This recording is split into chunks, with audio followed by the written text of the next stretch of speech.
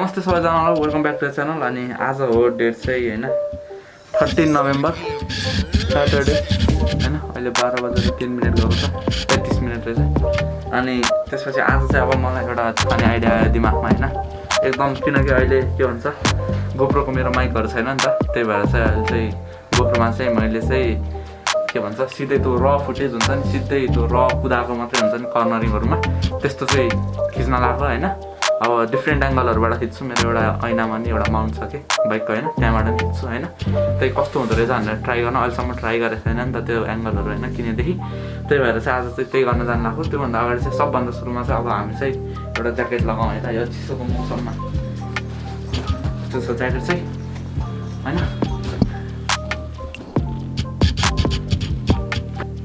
ल। ल ज्याकेट पनि लगाइहाल्यौँ होइन? अब चाहिँ के गरौँ भन्दाखेरि चाहिँ अब चाहिँ सिधै बाइकमा भेटाउँ चाहिँ यो भिडियोमा चाहिँ तपाईँ त जुत्ता सबै लगाएको बाइक निकालेको केही हुन्न अब चाहिँ सिधै त्यही डाँडा मेरो घरमा माथि एउटा डाँडा छ। त्यही बाटो अलि राम्रो छ। त्यहीँनिर अब गोप्रोको एङ्गलहरू अनि र भिडियो कस्तो हुन्छ चलाउँदाखेरि त्यो चाहिँ चेक गर्नको लागि चाहिँ त्यही भिडियो बनाउँछु है त। ल।